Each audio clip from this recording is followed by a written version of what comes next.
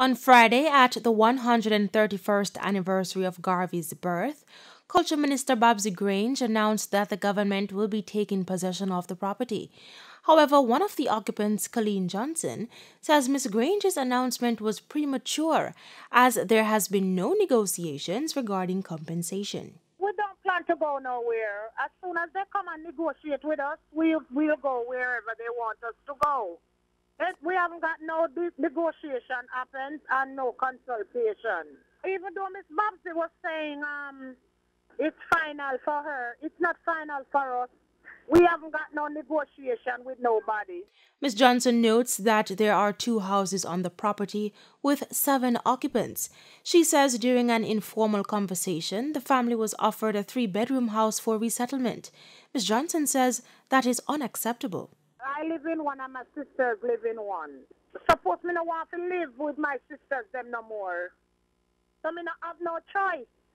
It is them no... offer nothing for us. I just tell you, no consultation. One day I was sitting under the clock and a man come to me telling me they're looking at house for us. But listen to me, it's a sloppy, untidy situation. You can negotiate when you have an accident or anything, can you negotiate with people on the street? You take me with my attorney, and you sit me down with my sisters or the other stakeholders, and we sit and we have a talk. You can't have me on the clock and say I negotiate things with me on the clock. Ms. Grange has said the Commissioner of Lands has been given ministerial direction to take possession of the property. She states that this development clears the way for the establishment of the proposed Living History Museum in honor of the national hero. And the attorney for the occupants of Marcus Garvey's boyhood home, Linton Gordon, says he will be writing to the authorities on Tuesday for clarification of the announcement by Miss Grange. He explains he will make it clear that the occupants are prepared to accept two houses as settlement. I believe they should get a team of persons capable of understanding and appreciating difficulties that persons without anywhere to live are facing in Jamaica.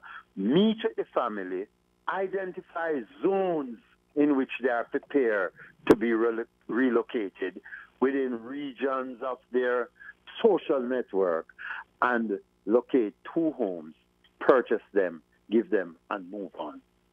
And they can set a cap maybe nothing over 25 or 20 million, and they buy two, two, two bedroom, three bedroom houses, hand them over to them, and we move on. Mr. Gordon notes that the land has been valued at $3.2 million.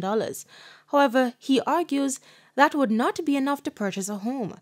He says his clients would be homeless if the authorities go ahead with the acquisition without settling the relocation issue. There is no letter offering any alternative accommodation. I tried to get Miss Johnson this afternoon, but without success. But I think if she had gotten an offer, she would have let me know. So I'm prepared to say that there has not been any alternative accommodation offered to the residents up to today. So if they are being removed or evicted, it's likely they will end up on the street, under a bridge, or maybe someone can catch them up for the time being. In the meantime, research officer at Liberty Hall, Dr. Shani Roper, has explained that the site is significant for teaching the values of Marcus Garvey and sharing his history with tourists. So when you take a monument, you are actually speaking about the identity of a people. What are the values that you want to celebrate. So, for example, Liberty Hall, which is one of the many kind of Liberty Halls, there are over a thousand Liberty Halls in the 1920s and 30s. And Liberty Halls were to be the center of cultural and educational engagement. So, when you make an, a Liberty Hall a monument and you give it active purpose, then you are promoting a set of values that you want the people in the nation to acknowledge and also seek to embody. Cody and Barrett, Frontline News.